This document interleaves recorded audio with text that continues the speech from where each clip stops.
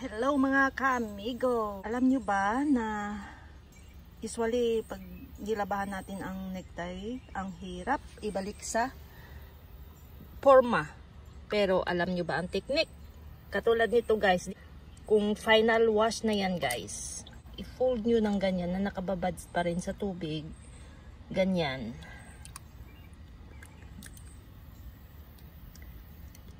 Kailangan, pag nakababad kasi sa tubig, yung shape niya, hindi ma ma dislocate. Hirap mag-video guys. So, ayan.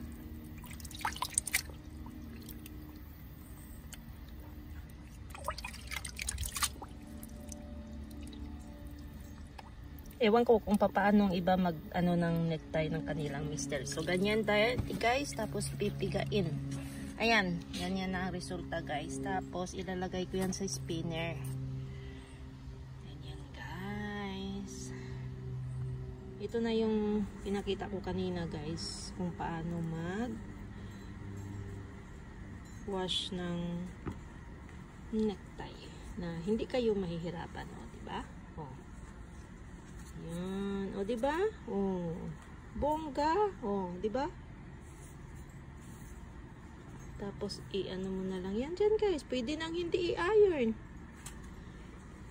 Pero, ito kanina nahirapan ako, guys. Sa loob kasi, ano na eh. Old na kasi yan siguro. Kasi guys, pag ini-squeeze mo to, pag nag-ano ka, at saka ini-squeeze mo, madi-deform siya guys.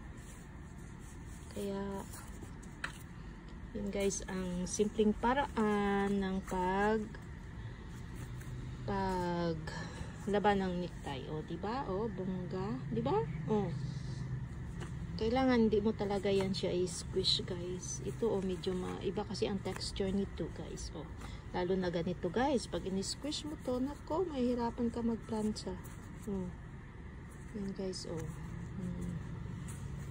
So, yun ang technique guys. O, tingnan mo. Tapos, ayan guys, nakarulyo pa o. Kasi pinasok ko sila sa shorts. Pinasok ko sila sa shorts guys. Para habang nag spin hindi sila ma ma-deform. O, di ba? Parang planchado. O.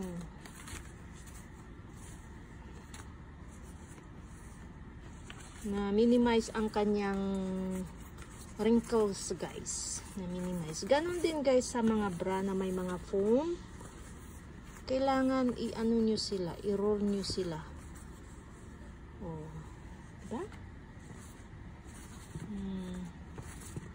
iba-iba ang texture iba-iba ang tela kaya mahirap pag sa necktie guys. Mahirap talaga guys. Mahirap mag ano ng necktie guys. Wala kang technique mahirap Buti na lang kung ang texture ay hindi masyadong sensitive. Okay lang. Tapos kailangan plansahin mo to guys na hindi pa masyadong tuyo. Kahit ngayon nga maganda plansahin ito ngayon bago mo i-hang.